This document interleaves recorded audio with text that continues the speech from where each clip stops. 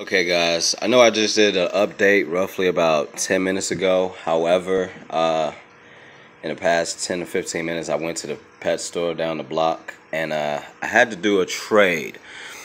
If you notice, if you look at my tank, there are no more tiger barbs or glass tetras. I took those back to the pet store.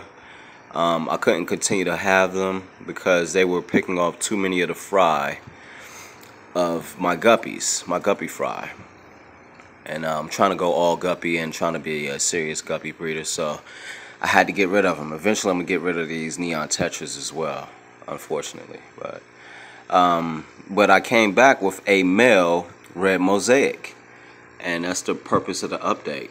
Um, he's the only male in the tank thus far unless uh, these fry one of them end up turning out to be male but for the most part he's the only male in the tank he is now the king of the tank. He is getting acclimated, and he is, I guess he's ready to fuck some girls.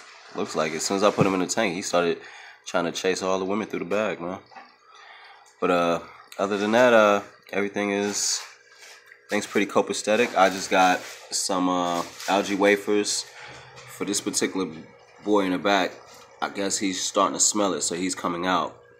And it looks like the neon tetras are the ones taking advantage of it, though.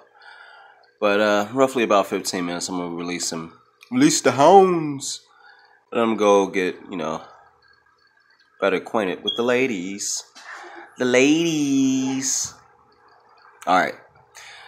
All right, you guys. Thanks for watching. Keep watching. Keep it fishy.